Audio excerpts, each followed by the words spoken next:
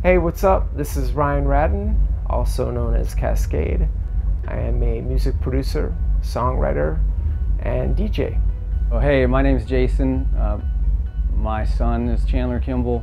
Chandler was a light. Uh, he was the life of the party. He was a magnet. Chandler Kimball, our son, took his own life January 2019.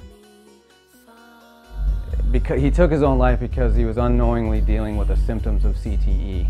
CTE is caused by repetitive hits to the head.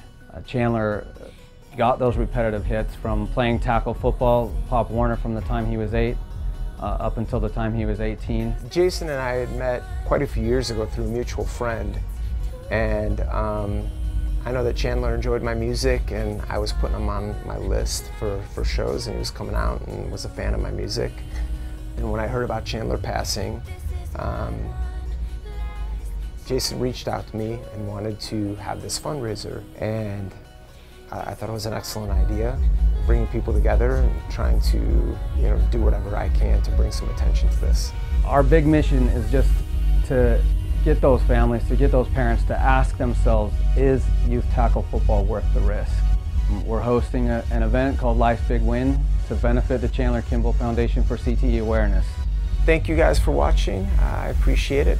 Come out to the Sun Bar in Tempe on the 15th. Have a good time for a good cause. Uh, we really appreciate it. It's going to be fun. Come on out.